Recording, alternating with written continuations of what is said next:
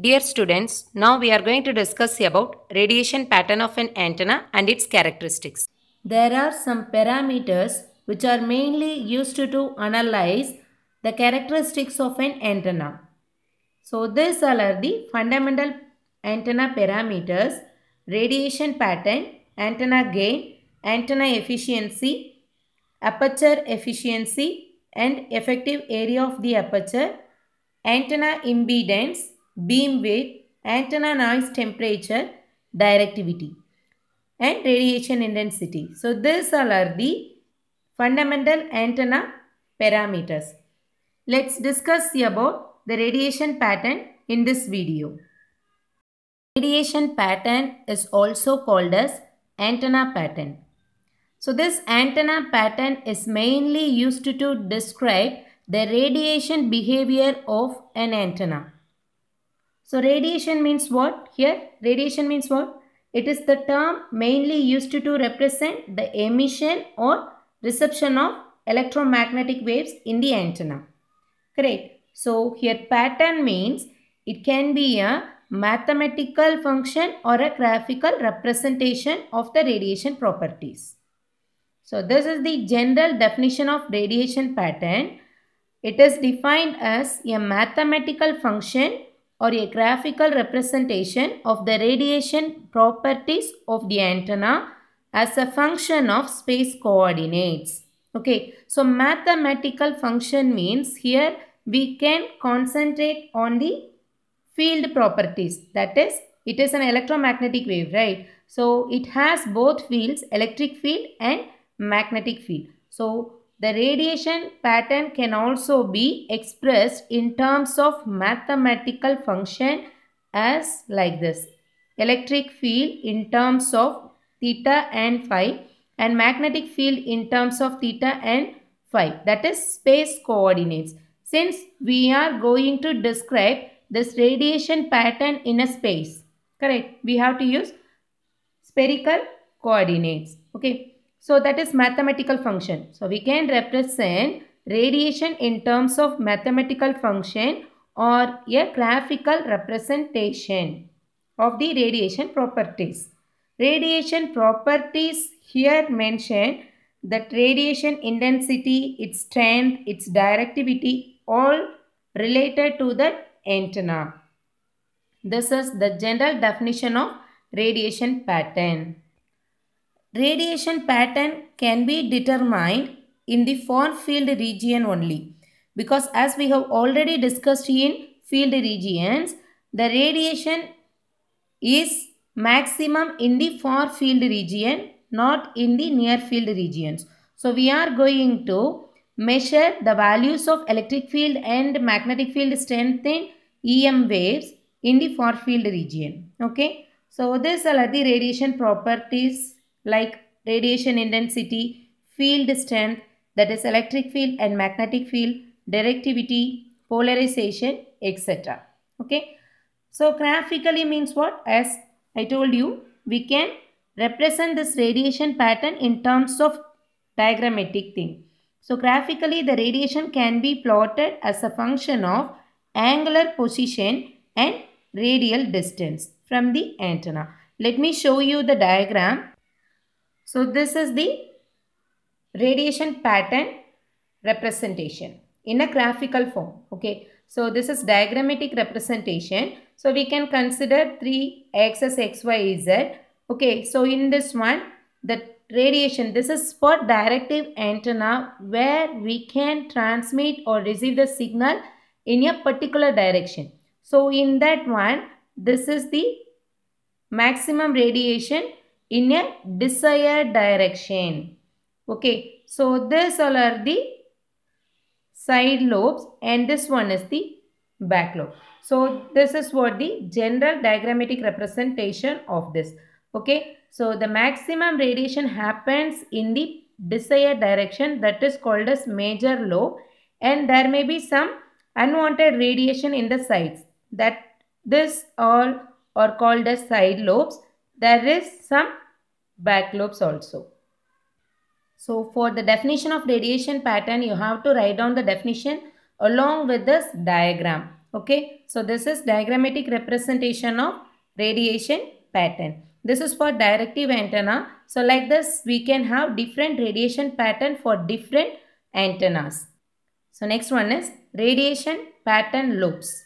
A radiation lobe. Okay, here we mentioned that major lobe, side lobes and back lobes, right? So a radiation lobe is a portion of the radiation pattern bounded by regions of relatively weak radiation intensity. Weak radiation intensity. So this is bounded. Okay, beyond that. Okay, beyond that there is no radiation. There is null. Okay, there is no radiation. So this is what that maximum bounding area.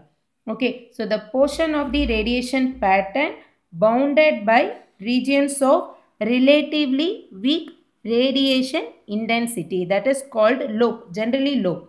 This lobe are classified into three categories that is what major lobe that major lobe is also called as main beam. Major lobe is also called as main beam. Okay, so next one is minor lobes. Minor lobes means side lobes and then back lobes. Let's see one by one. Major lobe, it is also called as main beam or main lobe. So it is defined as the radiation lobe containing the direction of maximum radiation. So as I told you earlier, so in this radiation pattern where the maximum radiation happens, that lobe is called as major lobe. Okay, major lobe means it is the lobe which is containing the direction of maximum radiation. So in this case, there is only one major lobe.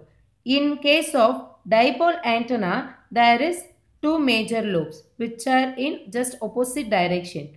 So based on the properties of an antenna, the lobes can be differed. Okay. So in this case, this is the major lobe. Okay. So based on the antenna properties, it can be differed. So next, minor lobes. Minor lobes means side lobes. That is, these are the lobes adjacent to the main lobe. Okay, so here these are the adjacent. That is in the sides of the major lobes. Okay, so that is what minor lobes. This minor lobes are unwanted one. Okay, so the radiation here is distributed in sides.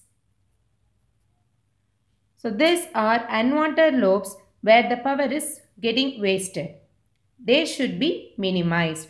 For example, you can consider a radar. Okay, radar is mainly used to find out the object, the target, right? So if there are some side lobes in undesired directions, okay, so the finding the target is very, very difficult. So in such cases, we have to reduce the side lobes. Okay, in recent days, we, were, we all are using the reflector antenna. So reflector antenna is mainly used to, to avoid the unwanted radiation in the backside as well as in the sides.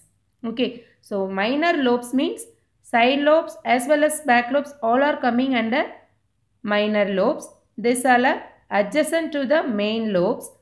Here the power is getting wasted. Okay. Next one is back lobe. It is the radiation lobe in a direction opposite to that of the major lobe. Just opposite to that of the major lobe that is called back lobe.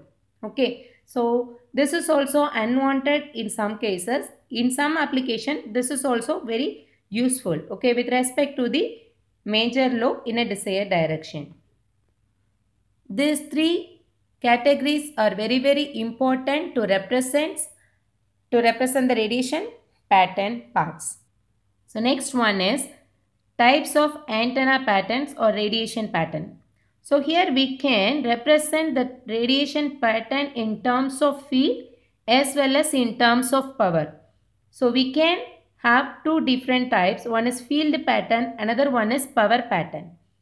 So field pattern means a trace that is plot. Okay. A trace or plot of the received electric or magnetic fields at a constant radius from the antenna. Okay, so here in this field pattern, we have to consider the electric field and magnetic field values. Okay, so that is called as field pattern. So it is plotted on the logarithmic scale. So here it is an example. So any wave, okay, electromagnetic wave, we are having the values of electric field and magnetic field. In that electric field, we are having the values of E theta as well as E phi. So we have to plot the logarithmic graph with respect to this field regions. So next one is power pattern. So here a graph or plot in terms of power per unit area. Okay, so field pattern we are having only the electric field or magnetic field but in case of power pattern we are going to draw the graph with respect to the power that is square of the field. So power pattern is simply represented as the square of field patterns. The square of field pattern. Okay. So next here I am giving you some examples of radiation patterns for different antennas. First consider isotropic antenna. Isotropic antenna is an impractical antenna. Impractical means it is theoretically applicable not practical one. Okay. So isotropic antenna radiates equally in all directions. Okay. So here we can consider this point is the antenna this point is going to radiate equally in all direction. So radiation pattern for this isotropic antenna is always a sphere. Okay. So this is for radiation pattern for isotropic antenna.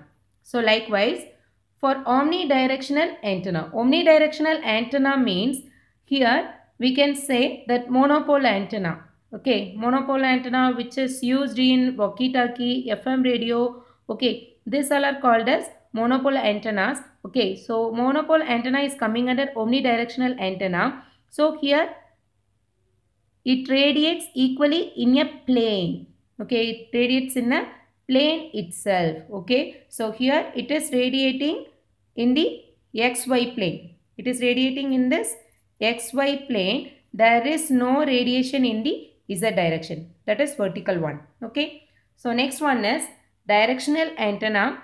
Directional antenna radiates the signal in a particular direction with respect to the application.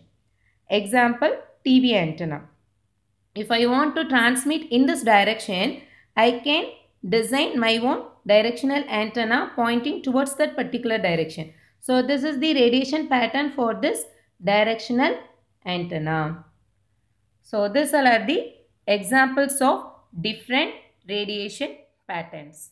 That's it. Thank you.